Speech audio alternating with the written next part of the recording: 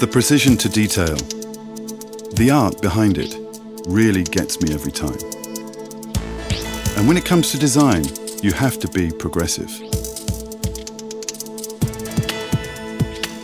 As an architect, my life is all about design. I love shapes. I love objects. Anything that is expressive. No matter if it's a building or a car.